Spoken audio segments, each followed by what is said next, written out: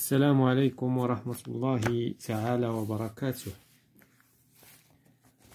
منهل النشاط العلمي للسنة الخامسة ابتدائي الوحدة الرابعة. إذا لدينا اليوم الحصة السابعة آه، حول التكاثر الخضري لدى النباتات في الصفحة أربعة وخمسون إذا ننتقل إلى الصفحة 54 إذا سبق أن تطرقنا للتكاثر الجنسي وقلنا لا بد من وجود الذكر والأنثى لكي يتم التكاثر والتوالد. ولكن هذه المرة سنتحدث عن التكاثر اللاجنسي يعني عدم ضرورة وجود الذكر والأنثى. فهذا يسمى إما تكاثر لاجنسي وإما نسميه تكاثر خضري إذا نبدأ كما العادة بالملاحظة والتساؤل. لاحظت هند بستاني المدرسة يقوم بعملية دفن غصن شجرة وتثبيته بالتربة فتساءلت عن السبب كما هو مبين في هذه آه، الصورة. إذا يثبت البستاني هذا الغصن فعندما يعني يعني تكبر وتنمو الساق والجذور تتفرع في الأسفل يتم قطع هذه النبتة الصغيرة عن أمها ثم يتم التكاثر. إذن هذه آه، التساؤل الذي سنطرحه لماذا يدفن البستاني غصن الشجرة في التربة؟ إذن الافتراضات التي سنفترضها هي كتبقى افتراضات لكي ينمو ذلك الغصن ويتحول إلى شجرة بالغة تشبه الشجرة الأصلية لكي تتكاثر الأشجار بسرعة. إذا هذه الطريقة كتعطينا واحد التكاثر سريع للزيادة في الإنتاج الخضري بالمردود باش يكون الإنتاج كثير مثلا إذا تعلق الأمر مثلا بشجر الزيتون أو غيره يعني الزيادة في المردود. إذا هذه بعض الافتراضات. ننتقل إلى التحقق. إذا آه، لكي نتحقق آه، من هذا إذا أولا ألاحظ صورة صور ورسوم الوثيقة واحد لأتعرف تقنيات يقوم بها البستاني لإكثار النباتات حفاظا على صفاتها المميزة وأعبر شفهيا. إذا هنايا كنشوفوا واحد المجموعة ديال الطرق التي يستعملها البستاني. فمثلا إذا لاحظنا الصورة أ تطعيم الزيتون. ماذا نقصد بالتطعيم؟ فالتطعيم هو أننا كناخذ آه، مثلا واحد يعني آه، كناخذ واحد القطعة من فرع من من فرع به براعم بحال هذه ثم نثبتها في غصن لشجرة أخرى ونربطها كما هو مبين هنا. ثم آه، يعني ينمو ذلك الغصن ويتحول إلى فهذه الطريقة تسمى كما هو مبين هنا إذن هذه الطريقة تسمى بالتطعيم ثم بالنسبة لبي مثلا بالنسبة للصورة بي زرع فص الثوم. كنأخذ واحد الفص ديال الثوم كنزرعوه في التربة ثم نسقيه يتحول ثم تنمو الجذور وتنمو الساق وتتحول إلى نبتة بالغة. هذه طريقة أخرى. هل احتجنا إلى ذكر وأنثى؟ لم نحتاج إلى ذكر وأنثى. إذن هنا هذا التكاثر كما قلنا في البداية هو تكاثر خضري افتسال الفراولة. إذا ماذا نقصد بافتسال الفراولة؟ كما هو مبين هنا. كناخذ داك الساق اللي كتسمى الساق الهوائية ثم نغمرها في التربة ثم تنمو نبتة جديدة ثم تعطينا ساق أخرى. هذه الساق تسمى الساق الهوائية. إذا فهذه طريقة يعني واحد النبتة ديال الفراولة كيمكن تخرج لنا عشرين نبتة أخرى. بلا ما نحتاجو حنا نمشيو نجيبو البذور أو طريقة أخرى آه، للإنبات.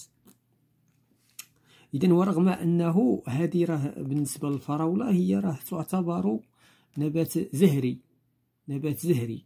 لأن كدير الزهرة وكتحول الزهرة إلى بذرة إلى إلى ثمرة والثمرة توجد فيها بذرة. ولكن رغم ذلك فهنا يمكن أن نتكاثر بالخضر كما يمكن التكاثر بالزهري بوجود حبات اللقاح والمبيض والمدقة كما سبق أن تطرقنا إلى ذلك. إذا بالنسبة للحالة دي زرع جذمور النعناع. اذا هنايا كناخذوا واحد الجدمور ديال النعناع يعني فيه براعم وكنزرعوه وكيعطينا نعناع جديد. آه ثم آه طريقة أخرى ترقيد غصن التين. كناخدو واحد الغصن من التين ثم كنزرعوه في التربة. كنغرسوه ثم نسقيه ثم تتحول إلى إلى إلى آه إلى شجرة تين كبيرة وبالغة. في الصورة F عندنا درنة البطاطس. كناخدو واحد الدرنة وكنزرعوها عاوتاني. كتكون فيها براعم.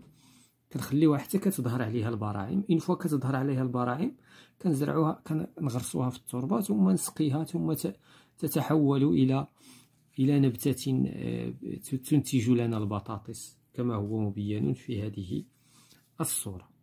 إذا هذه إحنا تحدثنا شفويا. دابا ثانيا أتعرف أهمية التكاثر الخضري وفوائده بالكشف عن الغريب من بين الاقتراحات التالية بوضع علامة في الخانة المناسبة. إذا هنا غادي نقلبوا على الغريب.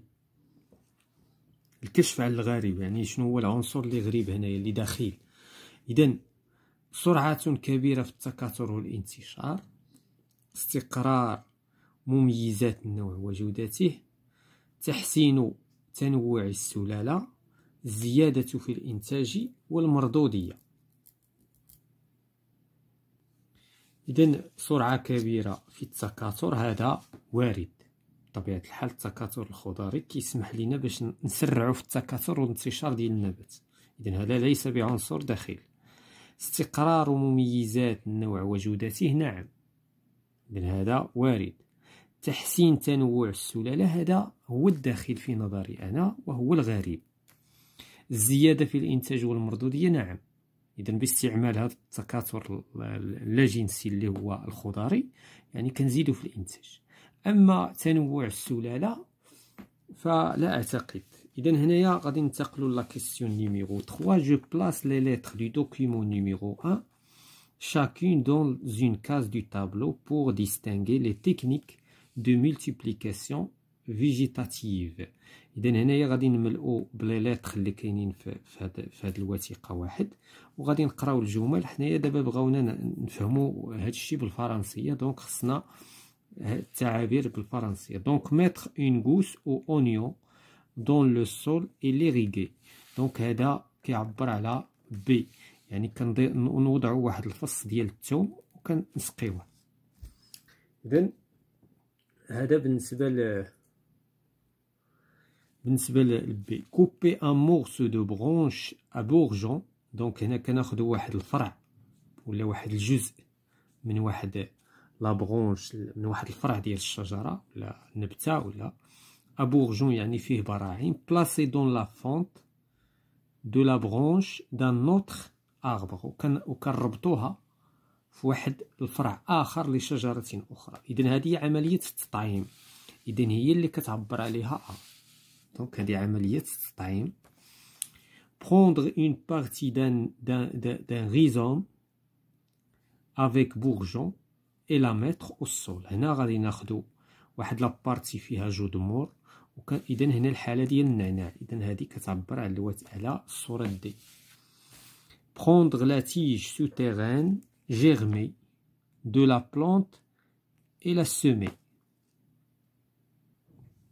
donc هذه هي ديال ديال التين يعني كناخذوا واحد واحد لاتيج واحد يعني واحد الغصن من من يكون فيه براعم وكنزرعوه في الأرض وكنسقيوه وكنديروا له الأسمدة إلى آخره. اذا هذه هي هي أو.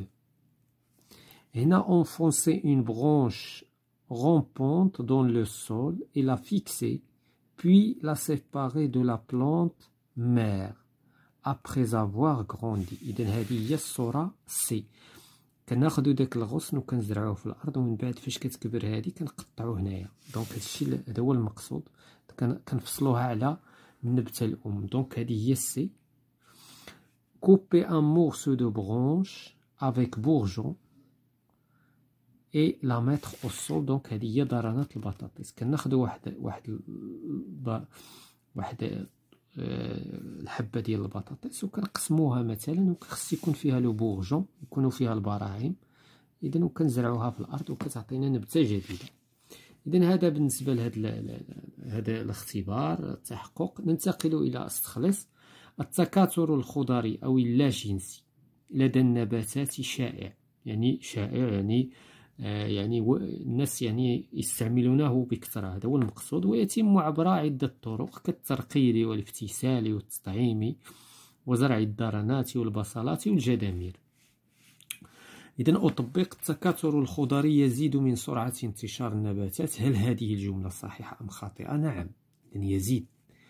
يعني لو كان بقينا كنعتمدوا فقط على التكاثر الجنسي وعلى التكاثر بالبذور غادي تكون يعني النباتات يعني في الأرض محدودة. فالتكاثر الخضري أسرع.